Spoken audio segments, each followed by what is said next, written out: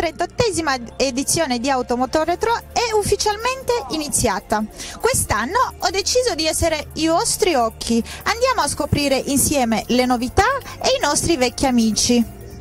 Appena si riuscirà ad entrare, ci mettiamo in coda.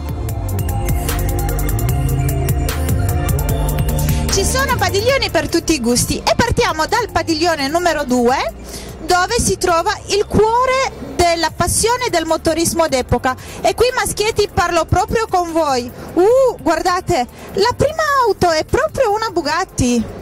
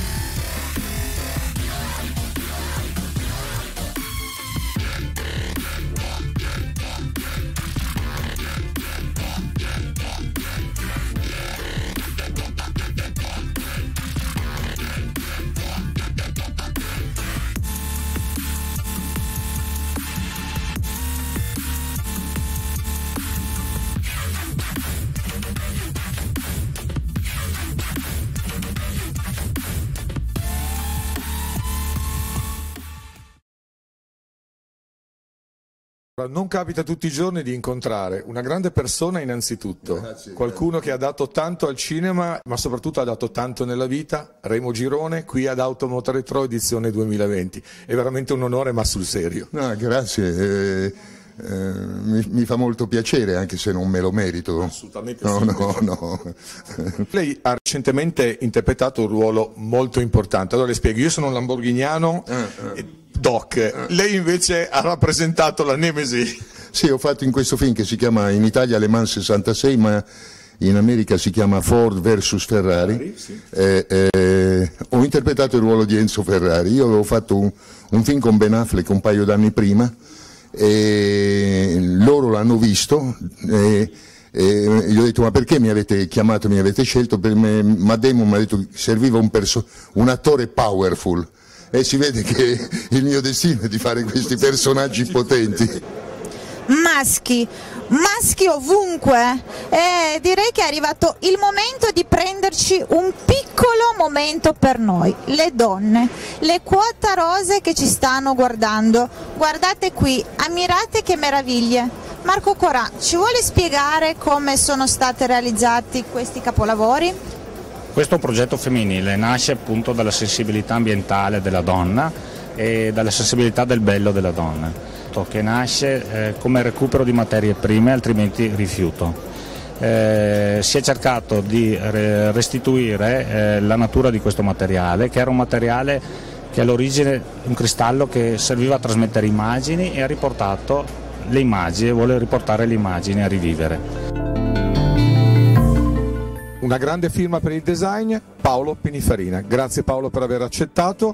Eh, grazie, grazie, a voi. Eh, quest'anno sono i 90 anni della Pininfarina che eh, fu fondata da mio nonno Pinin Farina nel 1930. Eh, eh, abbiamo mm, voluto fare sistema con l'Asi e con la città di Torino per fare un grande evento eh, celebrativo diciamo, dell'automobile, celebrativo della nostra azienda e anche della, della storia di Torino, ecco, per recuperare un po' diciamo, eh, questa, questa storia di Torino come capitale dove, laddove è nata l'automobile, laddove sono nati i carrozzieri, laddove è nata la Fiat, la Lancia. Eh, il nostro obiettivo è di avere per 90 anni eh, 90 automobili, ma 90 automobili laddove il criterio è, è la qualità, la qualità, l'esclusività e l'eleganza. Ha firmato nella storia Pininfarina? Dunque, allora abbiamo fatto un primo lavoro di censimento nel 90, lo fece mio padre con Bruno Alfieri, un critico dell'automobile, scrissero insieme un libro chiamato Catalogue Raisonné ed erano 498 eh, una, una, selezione di automobili ufficialmente firmate Pininfarina, quindi siamo arrivati a 626 eh, ed è un numero abbastanza, abbastanza rilevante, eh, diciamo che i due marchi che la fanno da padrone, eh, da padrona sono eh, Ferrari evidentemente eh, e Lancia. Uno, due, non mi ricordo cosa c'è dopo il 2. Bravi. 3. Ci troviamo all'interno di questo padiglione dedicato a chi vuole ampliare la sua collezione oppure a chi vuole avvicinarsi per la prima volta a questo favoloso mondo. Ovviamente troviamo auto e moto per tutti i gusti e per tutte le tasche.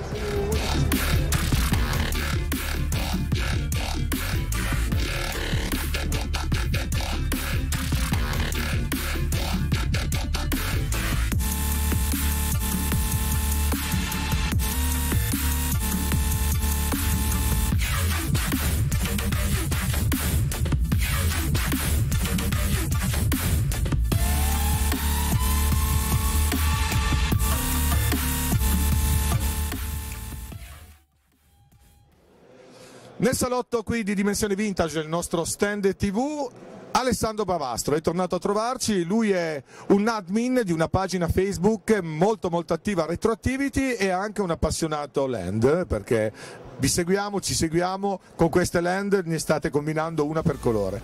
Bel movimento questo Retroactivity. Grazie, ciao a tutti. Sì, ci diamo da fare, ci divertiamo, condividiamo la nostra passione pura, semplice, senza, senza lucri, senza invidie e giochiamo, poi con la Land Rover c'è questo gioco dei guasti e quindi sono sempre oggetto di, di d'olio e si gioca, si sta al gioco e ci si diverte, è un passatempo. Allora, io non avevo la pecunia per permettermi una land, ho preso un magno, ma ti assicuro che a perdite d'olio non sono secondo nessuno. Ma anch'io la, la land poi insomma è caratteristica, quindi quando mi dicono perde olio, tu sì perché lo ha, e vai avanti col gioco, no? poi se è una passione comunque non, non, costosa, non stiamo parlando di auto di, eh, di, grande lignaggio, ci sono dei bei pezzi, specialmente qui nello stand, e si fa quello che si può, commisurato le proprie possibilità. Allora ho visto che avete anche toccato il tasto dei millennial che hanno spostato un po' l'ordine di gradimento delle vetture d'epoca, quindi non si parla più di pezzi storici, ma stanno dando importanza e conseguenza valore a quelle vetture che sono state protagoniste dei film, dei telefilm, che praticamente li hanno visti da bambini e adesso le vogliono comprare, alzandone ovviamente il valore. Sì, questo sì, perché poi questo, quando si parla di auto, di auto storico c'è sempre lo scopo di lucro, quanto vale, ma se la vendi è una cosa che a me personalmente dà un po' fastidio perché la passione è ben altro. Il marketing è un altro. E adesso sì, i millennial si stanno lanciando su questo tipo di business anche perché il settore dell'auto storica è già abbastanza sfruttato, quindi sì, stiamo a vedere cosa succederà in futuro con queste auto qua poi c'è il padiglione 1 dove potete trovare tutto ciò che vi serve per la cura, la manutenzione e soprattutto per le coccole delle vostre, ma anche le nostre amate autovetture d'epoca.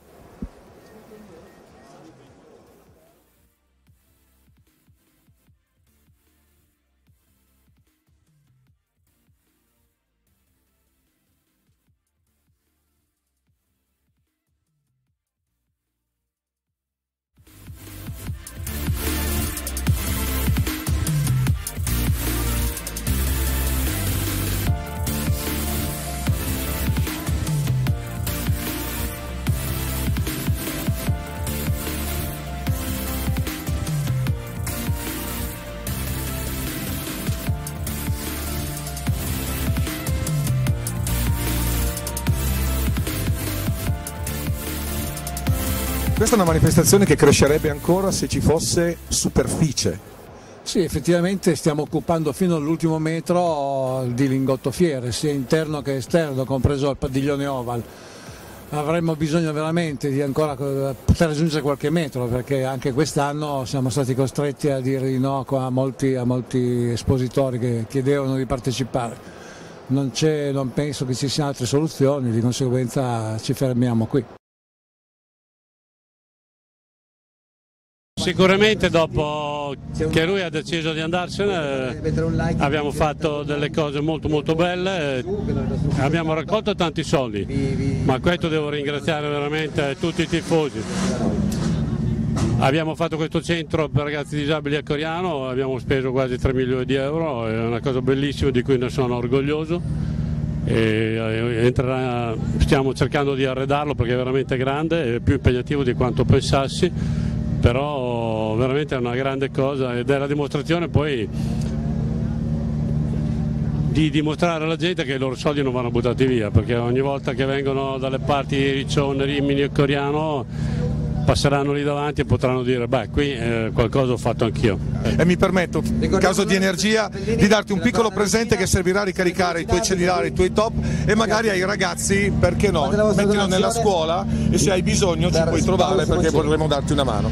Bene, in qualunque modo ricordiamoci da 5 per 1000 che ve lo portano via ugualmente, fatelo e datelo a chi vi pare. E noi siamo, potremmo essere quelli giusti. Allora, SIC 58 è una scuola veramente particolare, aiutiamo chi aiuta, va sempre bene e soprattutto ci fa star bene. Grazie ancora Paolo. Grazie ragazzi, Grazie. ciao.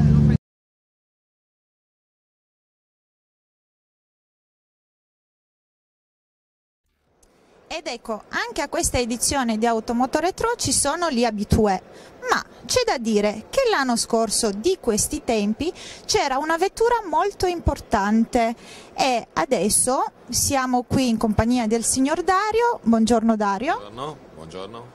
che ci racconterà la storia particolare di questa vettura.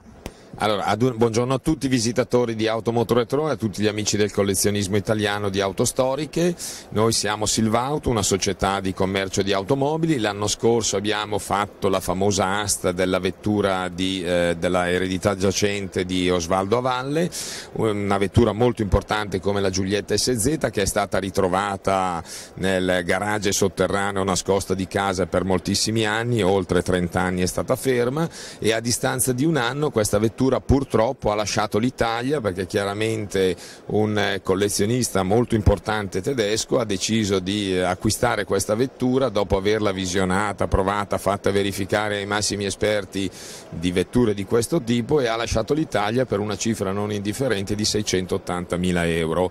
Di conseguenza vuol dire che alla fine la battagliata asta che si è tenuta il 31, dice, pardon, scusa, il 31 gennaio 2019 ha avuto ragione Silvauto che alla fine ha acquistato la vettura perché comunque è riuscita a creare anche un discreto utile, un discreto margine. Su una vettura sicuramente unica e rara per cui eh, siamo assolutamente felici, la vettura era stata presentata in anteprima al pubblico dopo il ritrovamento esattamente l'anno scorso ad Automoto Retro, poi ha varcato i confini dell'Italia andando prima a Parigi, poi a Stoccarda e successivamente ad Essen, poi è rientrata in Italia e alla fine ha lasciato definitivamente con la radiazione per esportazione il paese dell'Italia dove è sempre stata nata vissuta per andare in Germania. Credo che purtroppo storie come queste siano molto piacevoli dal punto di vista del, della, della, storia dell'automobile, del ritrovamento e anche umanamente, eh, perché comunque c'è stata dietro una persona che ha comunque conservato la vettura in modo particolare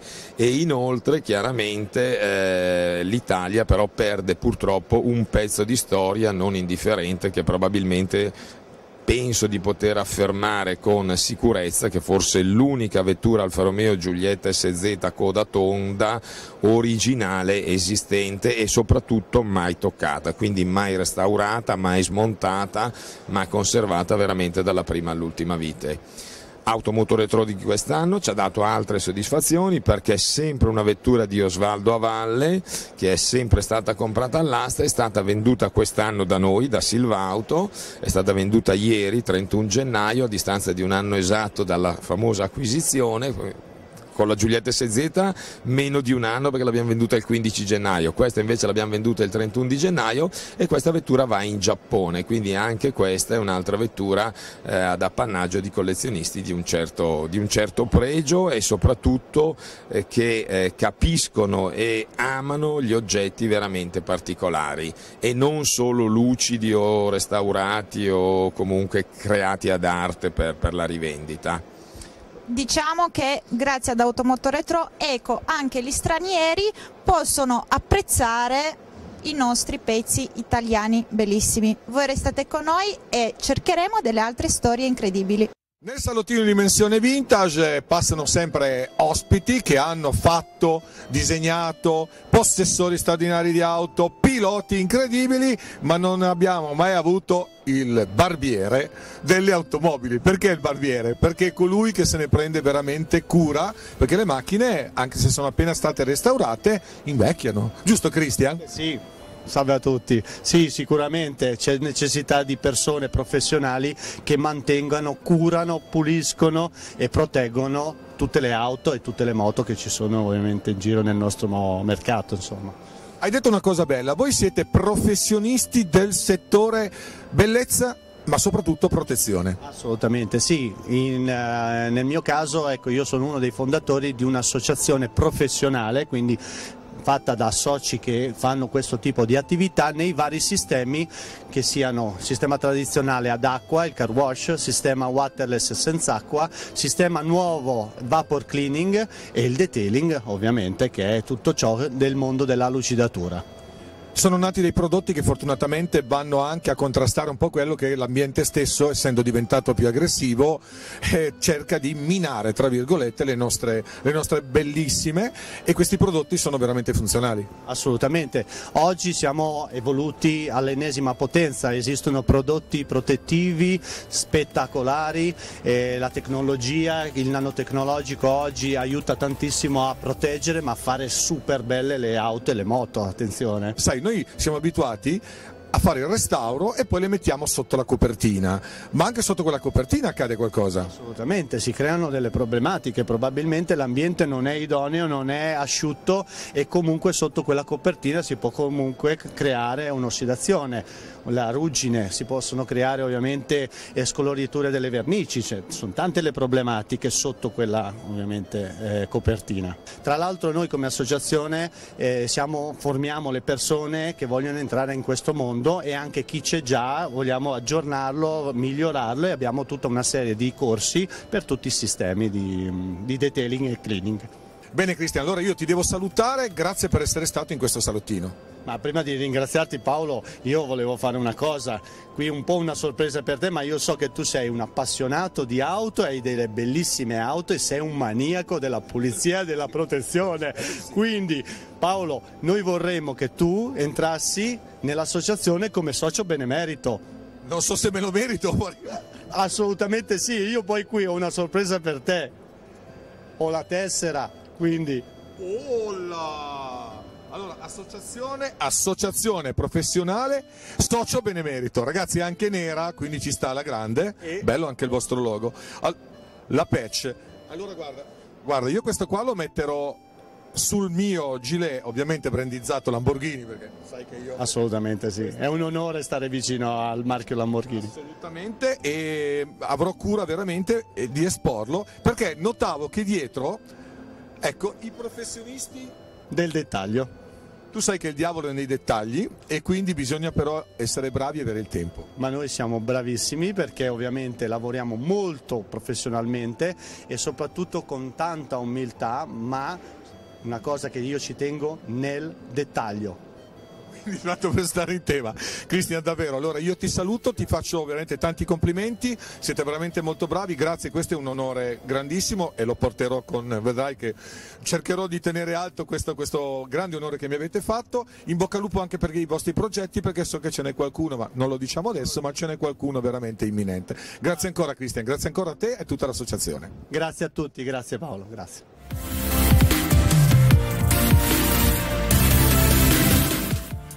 Non riesco a trovarlo. Chissà dove sarà Paolo. Mezz'ora che lo cerco. Ah, ecco, mi pareva strano. Buongiorno, ma lei cosa ci fa qui? Buongiorno, ehm, allora dovete sapere che la Batmobile si può restringere ed allungare. Per entrare nei padiglioni abbiamo dovuto compattare tutto, allora stavo avviando la procedura per farla di nuovo tornare come prima una volta uscito. Però scusami, perdonami, temo che si sia svelato una cosa che doveva restare segreta. Svelare un segreto? Ma dai, ma lo sanno tutti che sei Batman, non c'era più nulla da svelare. Dai, adesso che intenzioni abbiamo? Allora sicuramente di tornare alla Batcaverna e di concludere questa bellissima puntata dedicata ad Automoto Retro 2020, quindi si va di nuovo per un'altra avventura.